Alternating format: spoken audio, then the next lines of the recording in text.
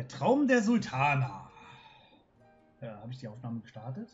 Ähm, ja. so, dann kann ich weitergehen. Oh, Direktorin! Unsere Lehrlinge würden dich gerne um Rat bitten. Es geht um das Orchestrion, das sie für die Sultane anfertigen. Du findest sie drüben am Chakra-Wasserfall. Das scheint ihr bevorzugter Versammlungsort zu sein, wenn sie etwas zu verbergen haben. Und wenn du schon mal dort bist, richte ihnen doch gleich doch bitte aus, dass sie in der Werkstätte gebraucht werden. Es gibt dann noch andere Dinge, die ihre Aufmerksamkeit verlangen.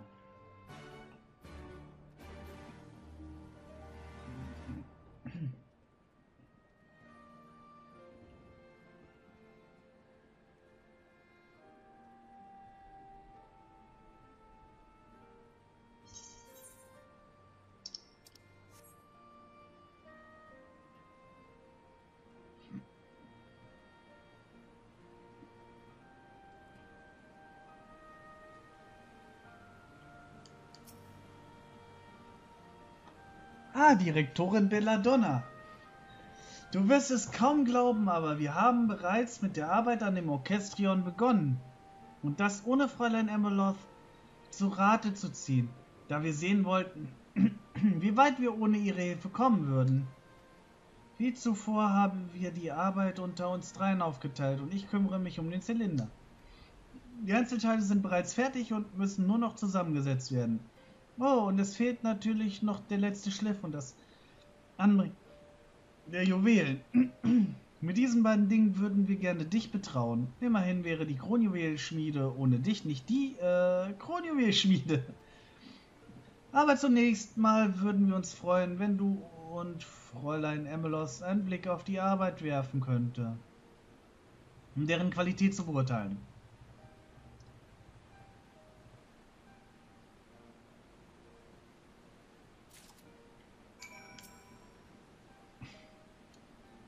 Ja, wir haben uns insgeheim an die Arbeit an dem Orchestrion gemacht. Meine Aufgabe sind die Verzierung und ich hatte gehofft, du könntest mir sagen, was du davon hältst. Ursprünglich hatten wir vor, das Produkt alleine fertigzustellen, aber es ist uns dann doch anders überlegt.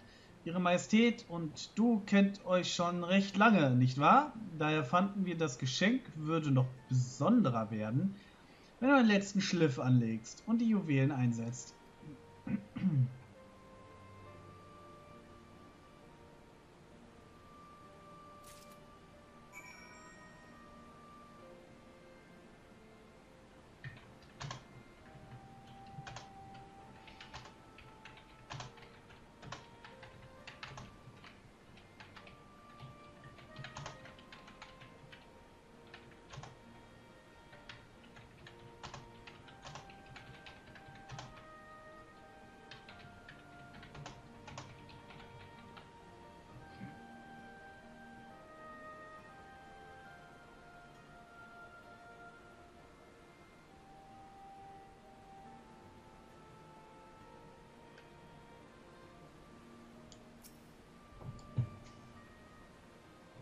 Hallöchen, kannst du dir das hier mal anschauen?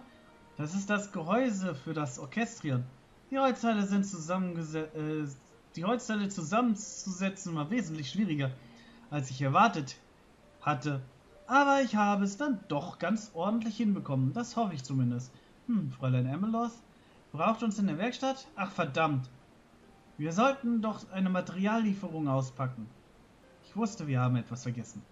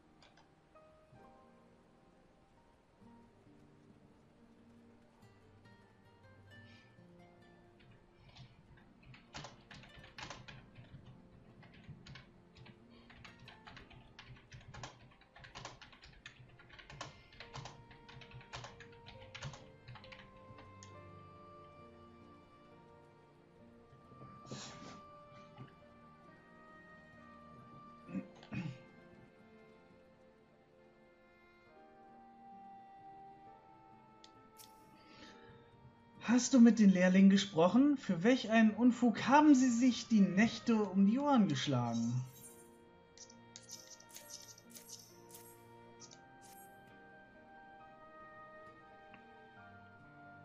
Sie haben das alles komplett ohne Hilfe geschafft? Ich muss ehrlich zugeben, dass es gut genug ist, um es der Sultana als Geschenk zu überreichen.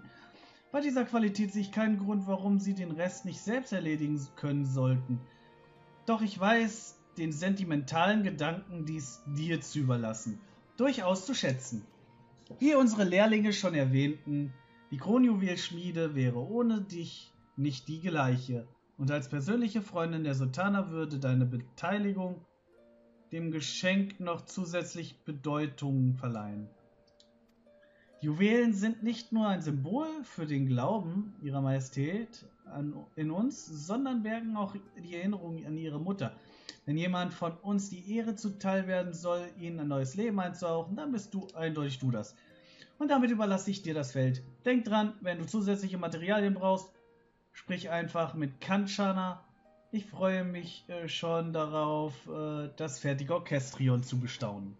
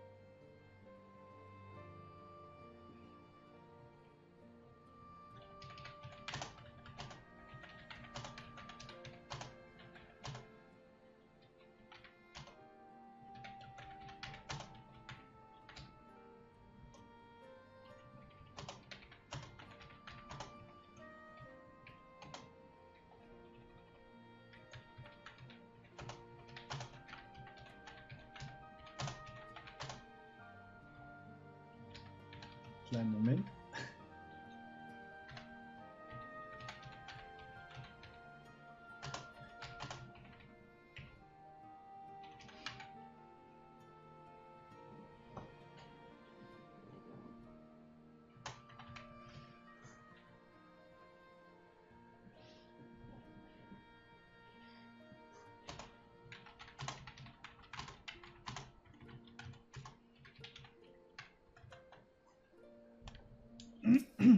So, ist es fertig, Direktorin?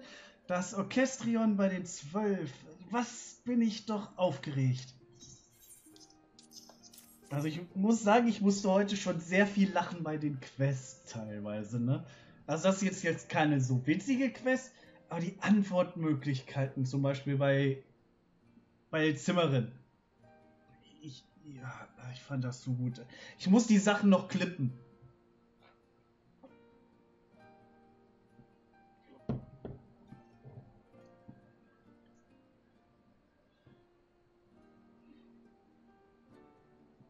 Meine Güte, das ist ja großartig. Definitiv das raffinierteste und eleganteste Orchestrion, das ich je gesehen habe. Ich kann es mir bildlich in den Gemächern der Sultana vorstellen, wie seine Klänge sie langsam in den süßen Schlummer wiegen. Solch eine fabelhafte Widmung verlangt nach einer gebührenden Gelegenheit, um sie zu überreichen. Selbstredend ist dazu deine Anwesenheit. und die der Lehrlinge vonnöten. Ich werde eine Audienz der Kronjuwelenschmiede bei Ihrer Majestät beantragen. Bis dahin sollten wir über das Geschenk Stillschweigen bewahren.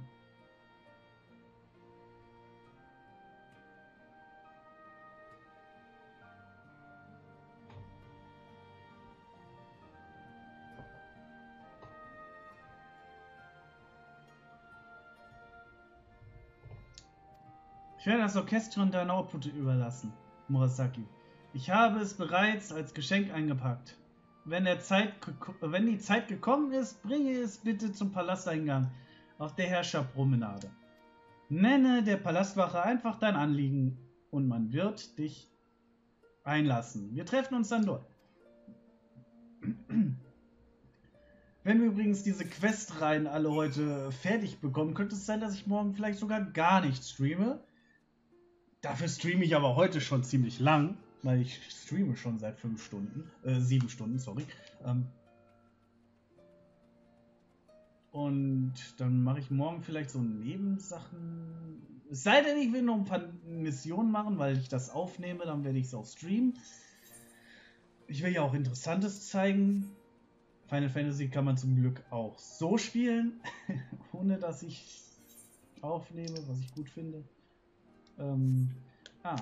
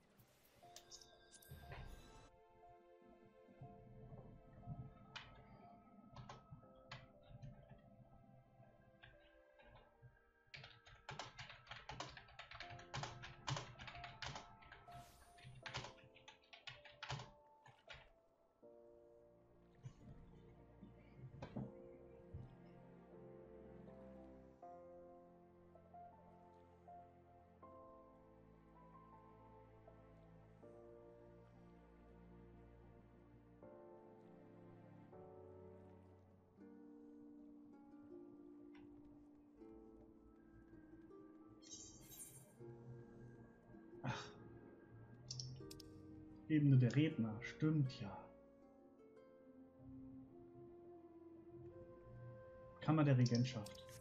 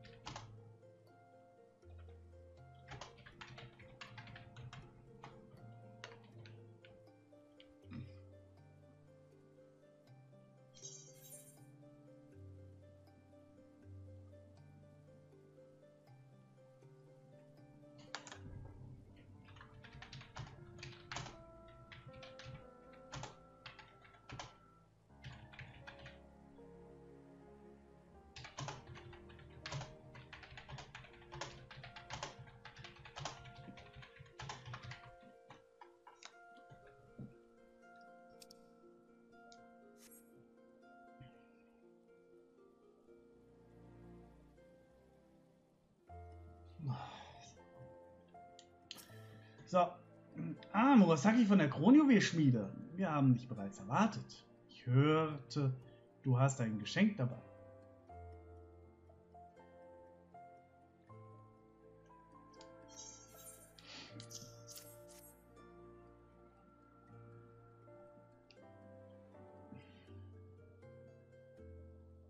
Sehr gut. Deine Kollegen sind auch bereits eingetroffen. Ich werde dich zu ihnen geleiten. Ihre Majestät wird euch in ihren Gemächern empfangen.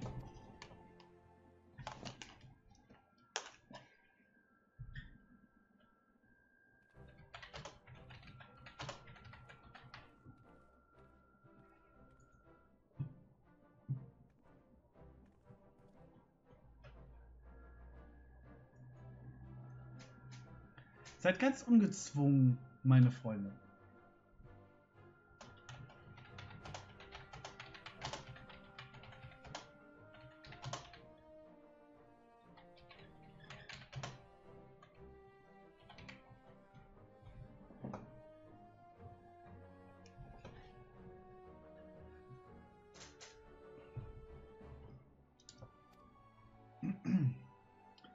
Gesagt, ihr hättet ein Geschenk für mich.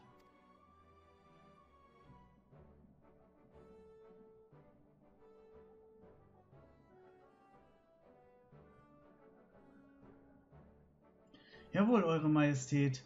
Ein bescheidenes Zeichen der Dankbarkeit unserer Lehrlinge für eure Großmut.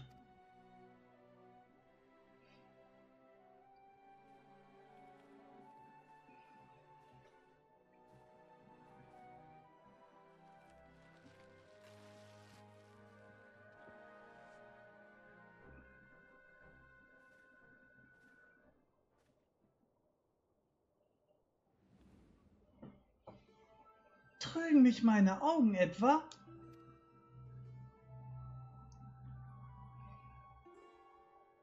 Gefällt es euch nicht, Eure Majestät? Sie liebt es! Wie könnte es mir nicht gefallen? Das ist genau das, wonach ich gesucht habe.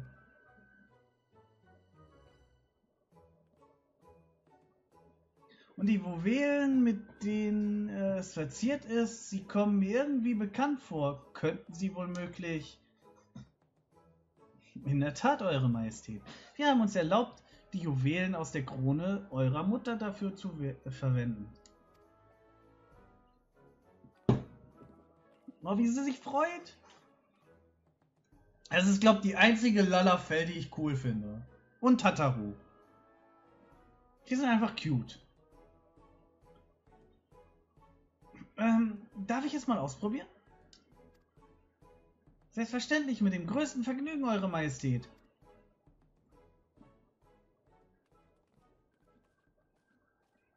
Also wenn es den äh, Zwiebelritter ne, in diesem Spiel geben wird, ne? Würde. Er wäre ein Lalafell.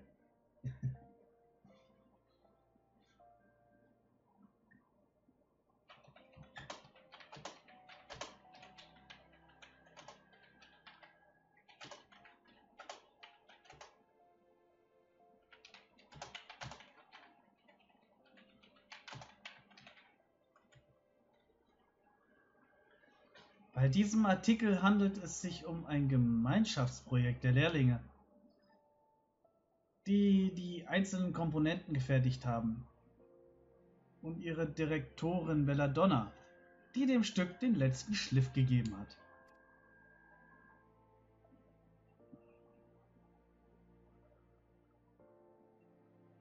Ich habe die Krone bereitwillig hergegeben und keine Gegenleistung dafür erwartet.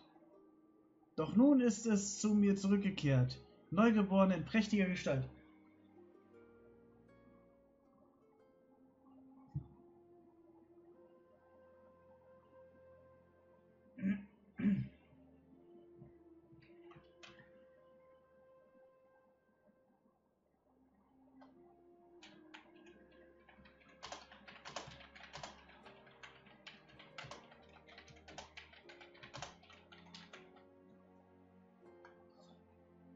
Habe die Krone bereitwillig hergegeben und keine Gegenleistung dafür erwartet, doch nun ist sie zu mir zurückgekehrt, neugeboren in prächtiger Gestalt.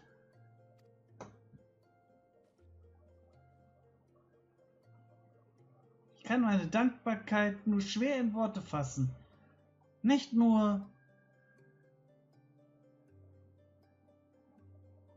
nicht nur für dieses Geschenk, sondern auch für das, wofür es steht. Eure Entwicklung zu Goldschmieden, die zu einer rosigen Zukunft für eure Heimat beitragen werden.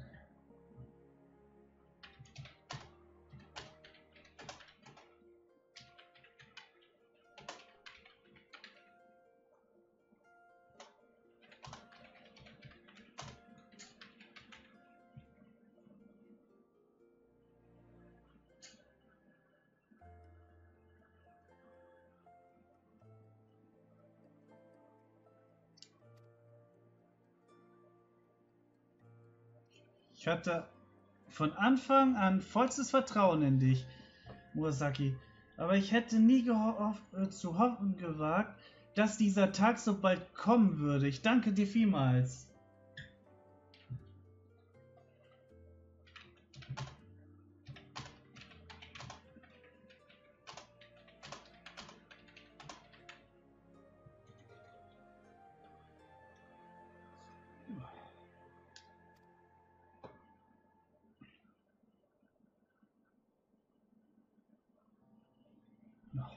Ist kalt.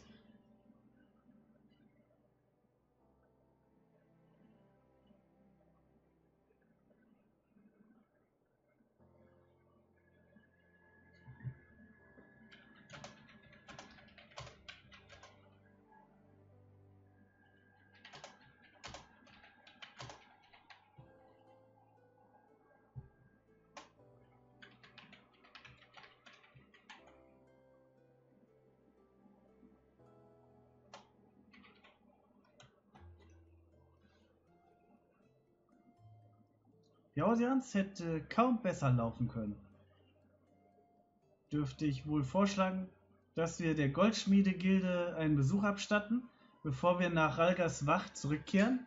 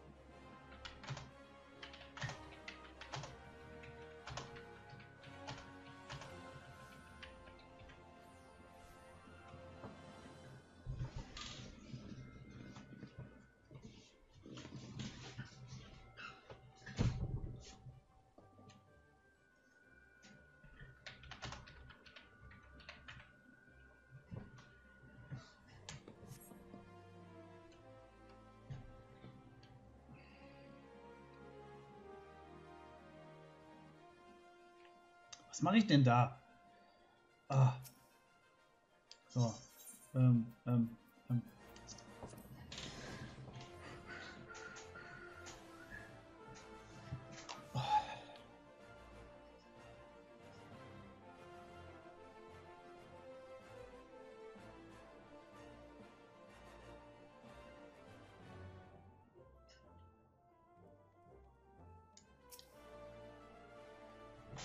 Ihr habt euch vorgenommen, den Großmut der Sultana zurückzuzahlen und wart dabei überaus erfolgreich. Ich freue mich äh, wirklich sehr für euch.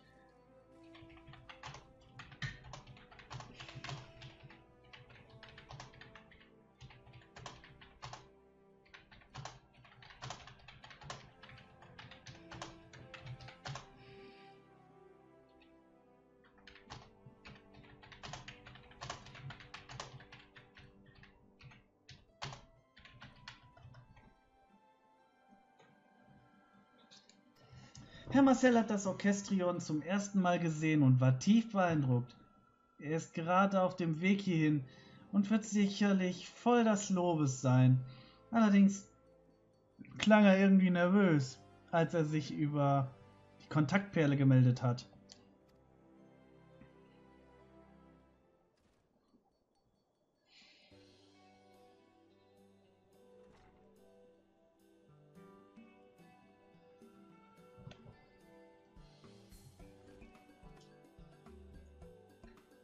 Wir haben einen Notfall. Oje, was ist denn nun passiert? Ich war kaum im Erstellen zurück, als auch schon eine wahre Flut von Bestellungen für genau jenes Orchestrion eintraf, das ihr für die Sultana angefertigt habt. Oh Gott, wir haben das gerade mal so geschafft, ne? Haben sich viel Mühe gegeben und jetzt müssen sie das in Maschinen im, im, im, wie nennt man das? Äh, oh, jetzt habe ich den Namen von diesem Fließband da, die halt.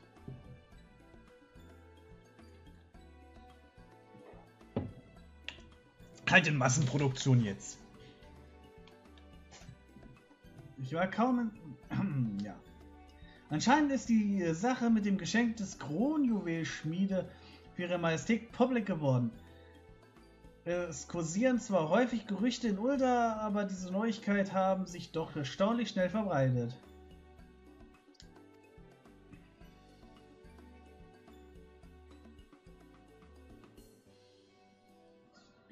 Das ist in der Tat eigenartig.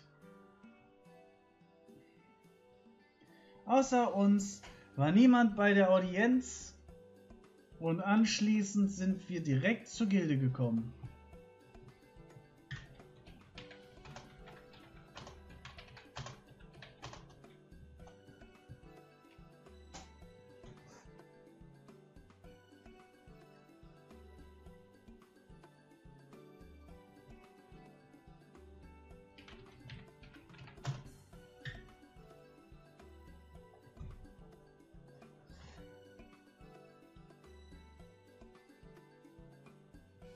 Tat eigenartig. Also, uns war nie. Äh, ich glaube, das habe ich gelesen. Ich habe keine Ahnung.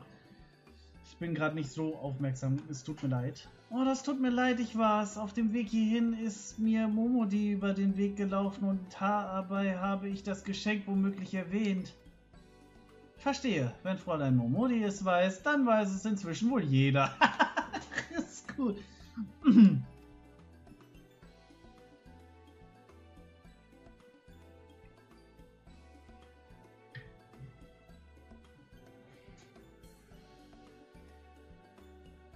Es war zwar nicht die Absicht ihrer Majestät, die Öffentlichkeit über ihre Initiative in Kenntnis zu setzen, aber sie hat uns auch nicht ausdrücklich untersagt, darüber zu sprechen. Macht euch also keine Sorgen, Fräulein Serendipity. Ähm,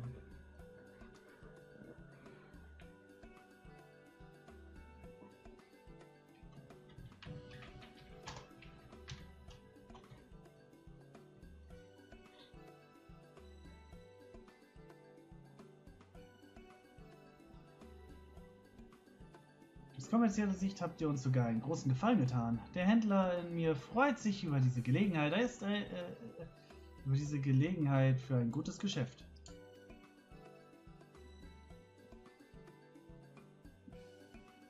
Was meint ihr? Würdet ihr den Juweliergeschäft erstellen, die ehrerweisen Orchestrions der Kronjuwelschmiede als Spezialität aus Alamigo ins Sortiment aufnehmen zu dürfen? Ist das euer Ernst? Unsere Arbeit im Sortiment eines so angesehenen Ladens wie dem Estate, kriegen wir das wirklich hin? Keine Sorge, Bruderherz, die Direktorin wird uns schon helfen. Ha! Ha! Ha! Ha! ha. Der war gut. Das sehe ich anders. Nicht vergessen, meine Lehrlinge, ihr seid das Herzstück dieser, dieses Unterfangs. Und ihr könnt euch nicht immer auf die Direktorin verlassen. Direktorin, ich glaube, es hackt. Ich muss die Welt retten! Mal wieder! Wir haben noch mehr zu tun, als ständig mit euch abzuhängen. Es tut mir leid. Mein Job als Direktorin ist zu Ende nach dieser Quest. Diese Einschätzung schließe ich mich an. Außerdem ist dies die Geburtsstunde eines Produkts, das jedermann mit Alamigo assoziiert zieren wird. Anders ausgedrückt, Fräulein Belladonna hat die Rolle erfüllt, die die Sultana ihr zugedacht hat. Und das mit Bravour. Es wäre nicht angemessen, noch mehr von ihr zu verlangen. Wir werden das Kind schon, schon irgendwie selber schaukeln. Da bin ich mir sicher. Macht euch keine Sorgen. Bin mal gespannt, ob ich die auch alle irgendwann mal in anderen Quests nochmal wieder treffen werde. Jawohl, das ist die richtige Einstellung. Nun selbst, wenn Murasaki nicht mehr ständig über euch wacht, wird sie doch sicher hin und wieder in Ralgas Wacht vorbeischauen. Und Elmeloth ist ja auch noch da. Ich denke mal, jetzt stehen sie da auch als NPCs rum. Egal, wo du dich aufhältst, du bist immer unsere Direktorin und du bist, du wirst immer unsere Direktorin und herzlich willkommen sein. Fräulein Emeloth, äh, wenn ich noch kurz einen Moment eurer Zeit in Anspruch nehmen dürfte, würde ich gerne die Liefermodalitäten mit euch besprechen. Und bevor ich, äh, sich unsere Wege trennen, erlaubt mir zum Ausdruck zu bringen, dass es mir eine Ehre war, euch alle auf diesem Weg zu begleiten zu dürfen. Selbstverständlich werde ich die Entwicklung der Kronjuwelschmiede weiterhin mit großem Interesse verfolgen und hoffe, dass sie schon bald in ganz Eosia bekannt sein wird. Bis zum nächsten Mal, meine Freunde.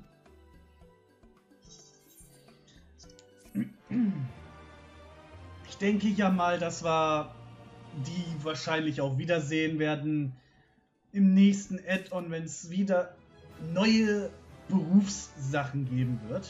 Und schau mal da, wieder ein Level-Up. Wir haben zwei Level-Ups als Goldschmied gemacht.